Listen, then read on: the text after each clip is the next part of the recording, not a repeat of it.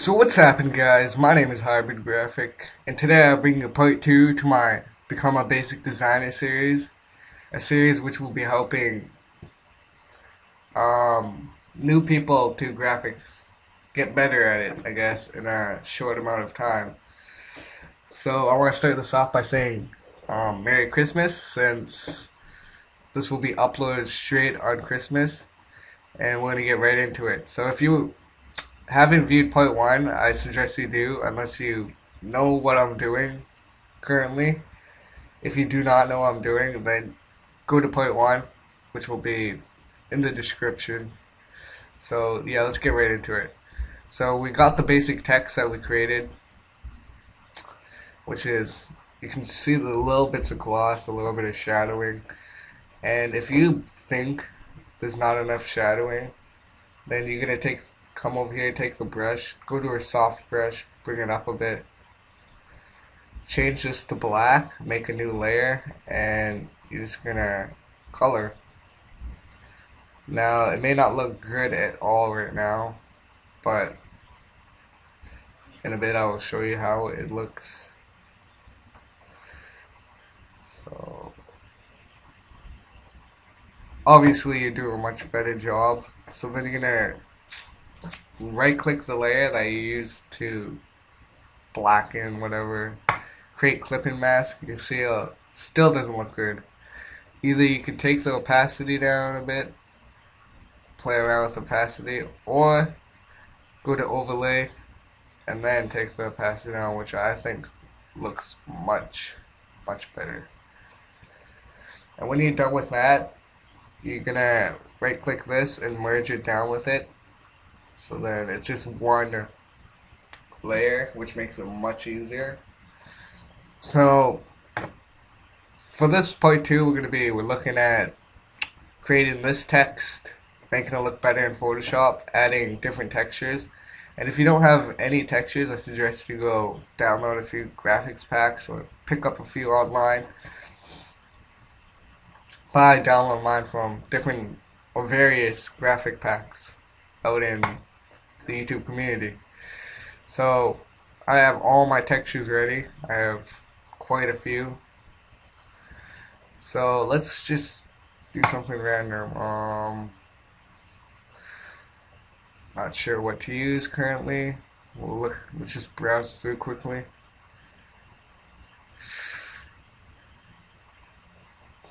Uh,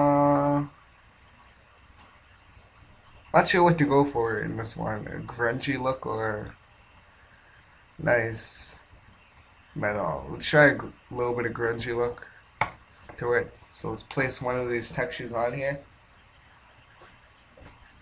And if it's not big enough, you're going to have to expand it out, obviously. Place, then rasterize the image by clicking on it with this, and it'll just rasterize. So when it's rasterized, you want to right click it, create clipping mask, and from here on you want to change the blending mode, which is these, to overlay, and you'll get a nice look right there. It looks kind of rocky, I guess. Um, and you can take the opacity down to make it look as much as you please. But to make these texts look way better, you're going to want to add quite a few different types of textures. Just to make it look more original. Because if you just add oh my god that's a tiny image. That was a tiny image. But anyways back to this. So yeah just add different types of textures if you want. Up to you really. How many textures? Whatever you like like when you find a good when you find that it looks really good then that's when you're basically done with the text. So you want to click on this hold shift click the text and merge the layers. This way you can move it around freely as you want. So that's not all we're able to do. We can add gradients. We can add the same effects we did to the 2D. Your choice, really. add that nice glow effect, make the size of it bigger, and then come up to the blend mode and turn it into overlay, and you can see that takes a puts a little light on the side of the text. And then inner shadow, you can still add inner shadow, come up here normal, change it to white. Let's actually come make it coming from this side. The size, let's take it down. As you can see, it added that extra gloss to the top. Ooh, that actually looks pretty good, to be honest. And I don't think you you could finish there. I don't know. You can add as much as you want. There's so many effects you can add, like creating a new layer, and then just clicking on that. You'll create a box here. You can just create clipping mask, turn it to overlay, and take it down a bit. And it looks like there's a gloss on it, but it doesn't look like that now because there's very grungy textures on here. So it doesn't really look like a gloss. But if we like, one minute. So we're gonna redo this all up again. If we place this down again. So we're done with this grungy one. If you place this down again, you're gonna wanna double click, gradient, put it down to overlay, take this down so that the bottom doesn't look too black Make a new layer. I may have to pause this soon quickly just for a few minutes if someone walks in. Select, deselect. And create clipping mask. Put an overlay on it. Take it down a bit.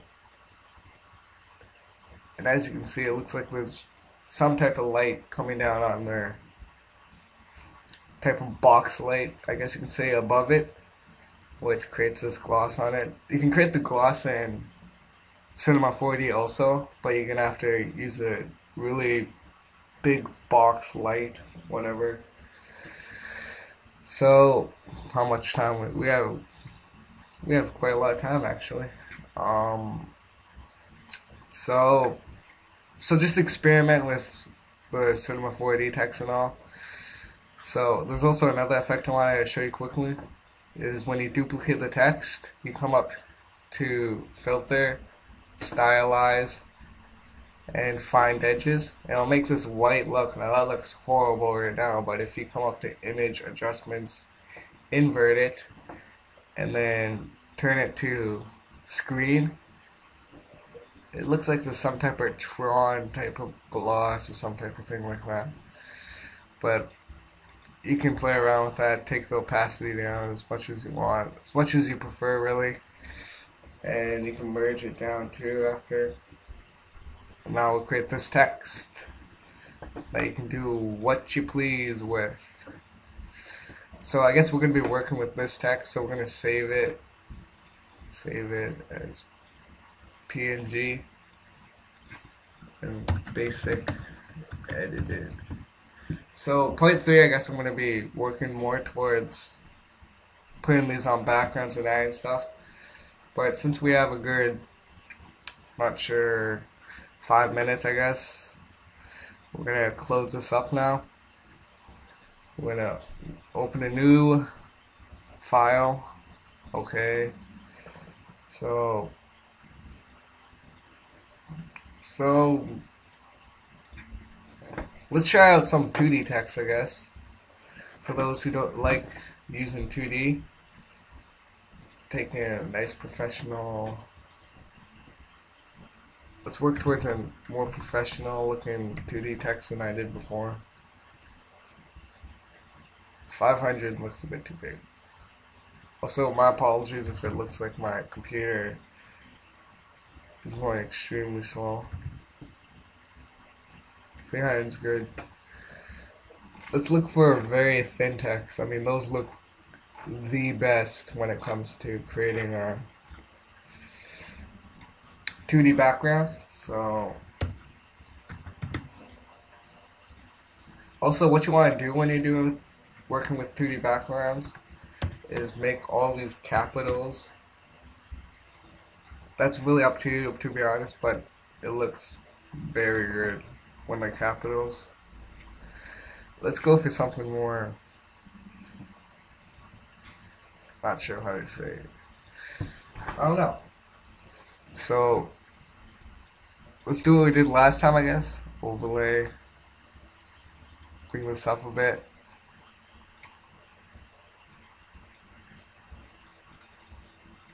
So inner shadow, normal.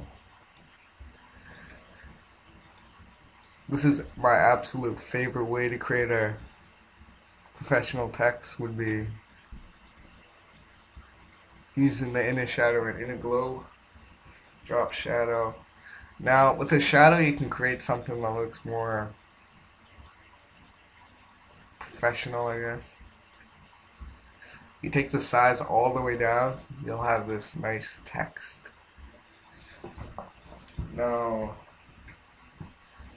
we have a good three minutes, so let's bring this up.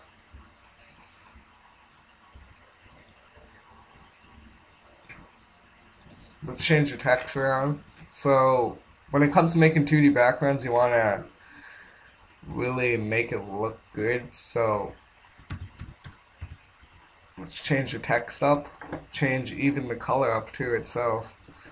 Let's quickly do this make it exactly like this except like different color I guess no blue doesn't look good that looks good so inner glow let's make the size a bit higher make that an overlay take it down a bit inner shadow.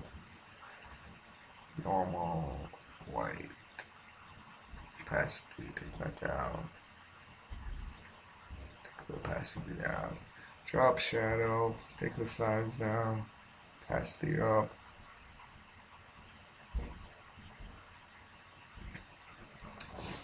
And then when you put something like this on a background, you obviously have like different text with me, but um, it'll look extremely good. You want to like play around with stuff. Use the pen tool to make a nice little line. Um, nice line under it. Change this to somewhere around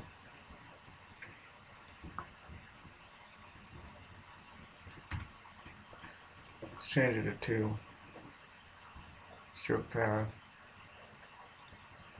delete path um, here we go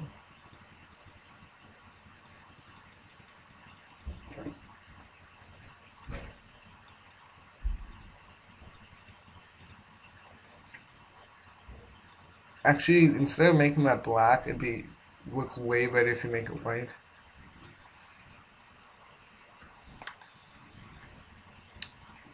Okay, we have a good minute.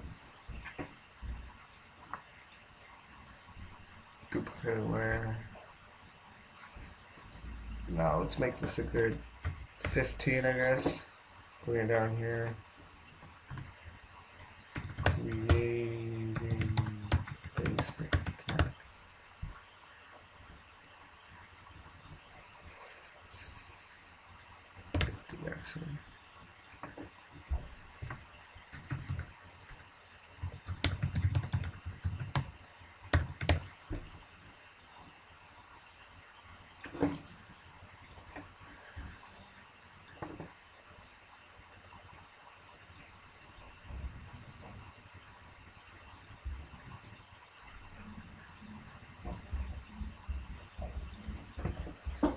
And as you can see that's all we have basically for this. So you just play around with all the text you make. Um, the possibilities are endless. Once you clear one part of your brain out creativity will instantly fill it. So use that creativity to the best of your ability and create something very nice that you like if you like it, then it's no doubt that other people will like it. So, thanks for watching, guys. Part 3 will be, will be out in maybe a few days, not sure, depending. So, peace!